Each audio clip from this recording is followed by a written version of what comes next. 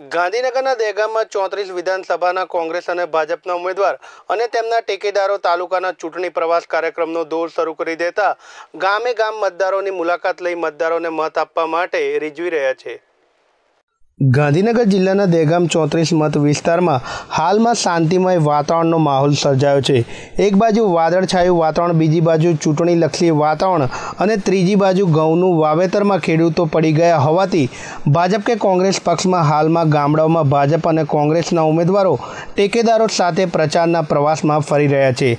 ત્યારે મતદારોની વધુ રસ ન હોય અને કોઈપણ પક્ષમાં ગામડામાં મતદારો જાહેરમાં ખુલ્લા આવવા તૈયાર ન હોવાથી બહુ ઓછી સંખ્યામાં ગામડાઓમાં પ્રચાર પ્રવાસમાં સંખ્યા જોવા મળી રહી છે. એક બાજુ કોંગ્રેસના ઉમેદવાર વર્તમાન ધારાસભ્ય હોવાથી ભાજપના ઉમેદવાર પૂર્વ ધારાસભ્યના પુત્ર હોવાથી બંને નેતાઓની મતદારોને જરૂરિયાત ઊભી થાય તેથી તાલુકાની જનતા કોઈપણ પક્ષમાં જાહેરમાં ખુલ્લા આવવા તૈયાર નથી.